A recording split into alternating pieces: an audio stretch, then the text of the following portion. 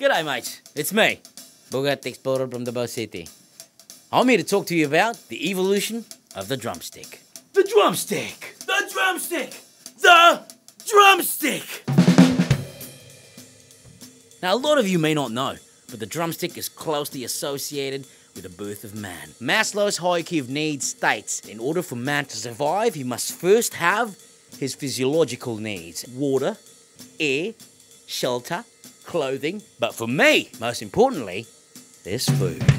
And what was the first food that sustained him? Yes, there was grain, but then this came about the drumstick. Tender, juicy goodness in a stick form from an animal. Consumed to satiate man's hunger, allowing him to propel forward in time, forwarding the human race.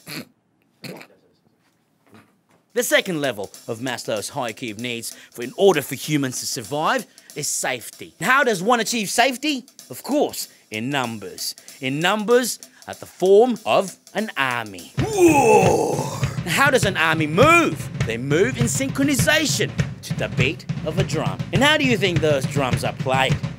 Yes, yes, my friend, a drumstick comes again. Next level up, man's need for love and belongingness. How does one achieve love? How does one express love? This is done through communication. And guess what?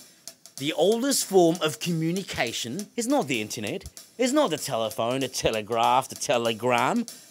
It's the drums. The drums communicated what you wanted to say at a long distance. Hello, baby. What you cooking for dinner? Please cook bangus because I like tuna. Next level up is the need for esteem, for respect, for people to respect you. One form, one way to get this respect is to show what you can do, to show your talent. And that is where music has come in for me.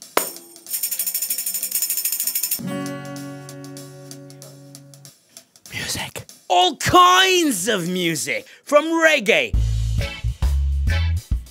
to jazz to rhythm and blues, even to metal. Music! Music, bah! The highest form of need for man is, of course, self actualization. The need to achieve happiness by achieving man's full potential, what he can do to the fullest, and not just by doing what's given of him or what's tasked of him, because to achieve self actualization, you have to be at your utmost creative and at your utmost fun.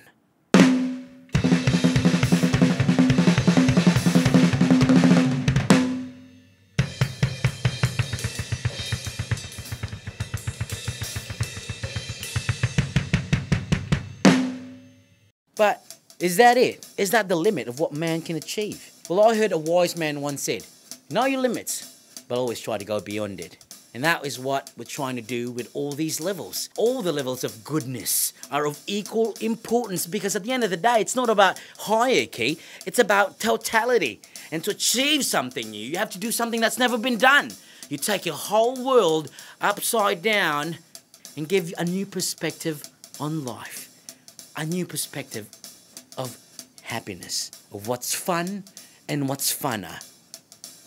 And the final form of the drumstick is revealed. The drumstick! The drumstick! The drumstick!